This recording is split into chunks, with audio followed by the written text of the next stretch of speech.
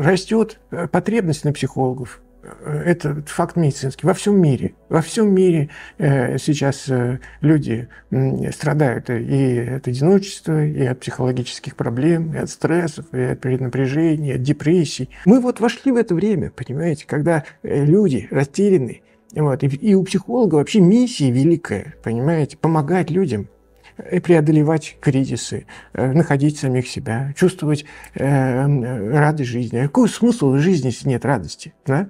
А что психолог? Он должен научить. Понимаете? Потому что никто не учит. Всем плевать.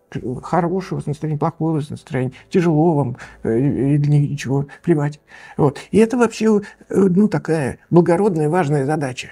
Вот. И она, конечно, требует подготовки. И очень хочется понимаете, жить в мире, в котором люди в душевном хорошем находится состоянии. Понимаете? Потому что чем больше будет вокруг улыбок, это, не знаю, радости, счастья, доброты, чем больше будет, тем, ну, тем нам всем будет лучше жить. Поэтому миссия есть на этих психологов. Вот. И хотелось бы, конечно, чтобы их становилось больше качественных, которые хорошую подготовку прошли, которые понимают, о чем, собственно говоря, э, с чем, с какими проблемами на самом деле человек сталкивается.